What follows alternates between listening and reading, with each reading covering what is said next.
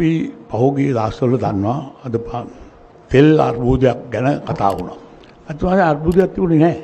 යම් යම් වැරදි ප්‍රකාශ නිසා දවස් හතරයි තියෙන්නේ දවස් තුනයි තියෙන්නේ කියනකොට මිනිස්සු කලබල වෙනවා. මොකද අපේ යුගවල සමහර විට පැය 24යි තෙල් තිබුණා. නමුත් වාසනාවට නැව් වෙන්නලා තිබුණා.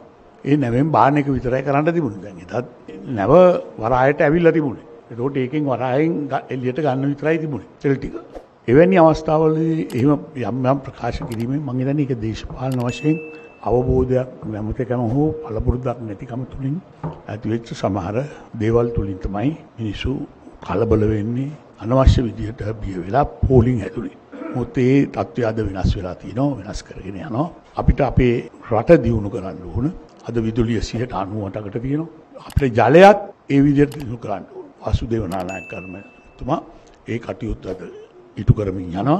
ඒ වගේම අපේ අනාගත දරු පරපුර රැකගන්න අපි කටයුතු කළ යුතුයි. අපි මේ දරු පරපුර රැක ගැනීම සඳහා මත්කුඩුවලි ව්‍යාපාරයට විරුද්ධව වැඩ කිරීමට පියවර ගත යුතුව තියෙනවා. මේවා ගෙනේන පිරිස් අපි මර්ධනය කරේ නැත්තම් අනාගතයේ අපේ දරු පරපුර රැකගන්න අපිට බැරි වෙනවා.